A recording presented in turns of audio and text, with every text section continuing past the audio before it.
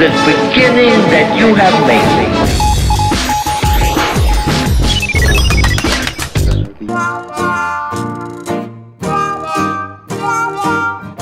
The city was uh, expanding rapidly due to the uh, very large wave of uh, immigration. At the beginning of the 1920s, there were only 2,000 uh, residents in Tel Aviv.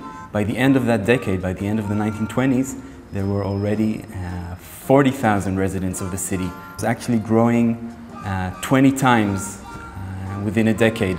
City planning uh, in Tel Aviv uh, has always been a response to, to the urgent needs of the time.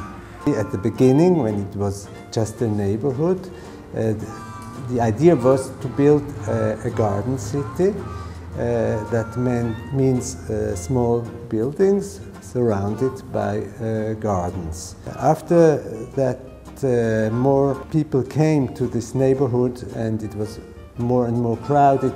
They had to add, of course, to these small buildings more floors and these really tiny and simple buildings were uh, changed.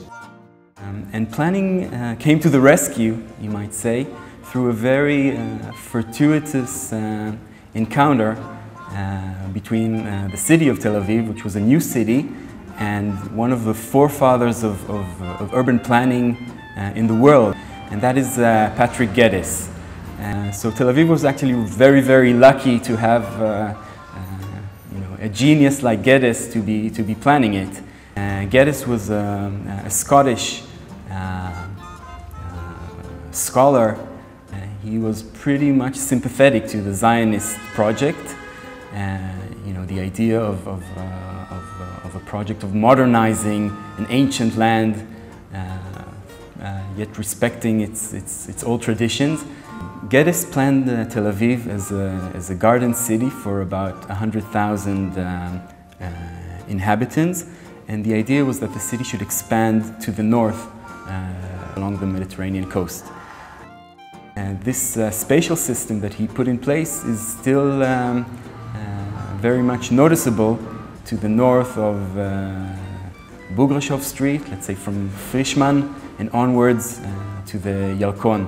This entire system of, of um, uh, main streets going up north and then smaller streets which create uh, residential blocks and at the center of each block, you were supposed to have a pretty large communal garden. And that's really the, uh, the creation of Geddes, and it lends uh, much of the quality of Tel Aviv uh, even to this day.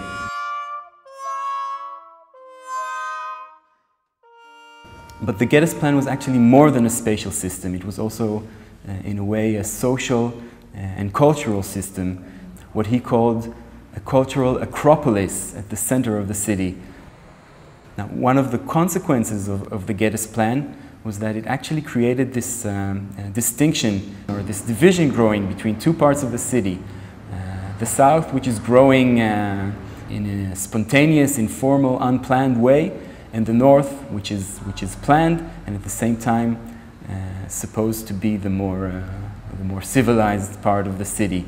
This is something that uh, is, you know, that has, that has characterized Tel Aviv ever since its, its inception.